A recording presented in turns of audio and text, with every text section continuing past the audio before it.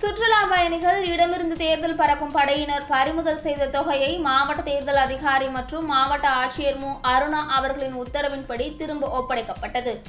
எதிர்வரும் மக்களவைத் தேர்தலை முன்னிட்டு இந்திய தேர்தல் ஆணையத்தால் விதிமுறைகள் நடைமுறையில் உள்ள நிலையில் நீலகிரி மாவட்டம் குன்னூர் மேட்டுப்பாளையம் தேசிய நெடுஞ்சாலையில் டபுள் ரோட் பகுதியில் தேர்தல் பறக்கும் படையினர் வாகன தணிக்கையில் ஈடுபட்டிருந்தனர்.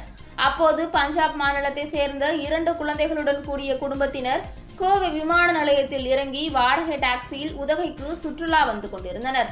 அந்த வாகனத்தை தேர்தல் பறக்கும் படையினர் சோதனையிட்டதில் ரூபாய் அறுபத்தி ஒன்பதாயிரத்து நானூறு இருந்தது. கண்டுபிடிக்கப்பட்டது. அதனை தேர்தல் பறக்கும் படையினர் பறிமுதல் செய்தனர். சுற்றுலா வந்த பஞ்சாபை சேர்ந்த பெண்மணி எங்களுக்கு தெரியாது என்றும் நாங்கள் சுற்றுலா வந்தோம் பணத்தை திருப்பி கொடுத்து விடுங்கள் என்று கதறி எழுதார்.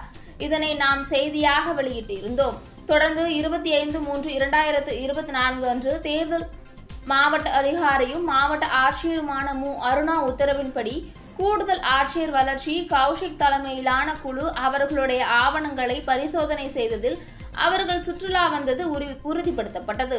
இதனைத் தொடர்ந்து குன்னூர் கோட்டாட்சியர் சதீஷ் பறிமுதல் செய்யப்பட்ட பணத்தை பஞ்சாப் மாநிலத்தை சேர்ந்த குடும்பத்தினரிடம் ஒப்படைத்தனர். அவர்கள் மகிழ்ச்சியுடன் அதனை பெற்றுக்கொண்டு திரும்ப சென்றனர். மாவட்ட தேர்தல் அதிகாரியின் உடனடியான நடவடிக்கை பொது மக்களிடையே பெரும் வரவேற்பை பெற்றுள்ளது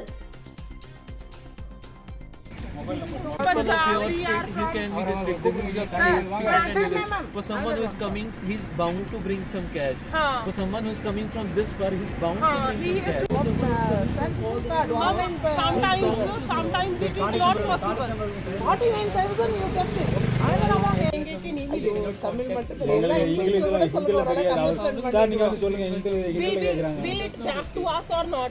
Very wrong. back you back tomorrow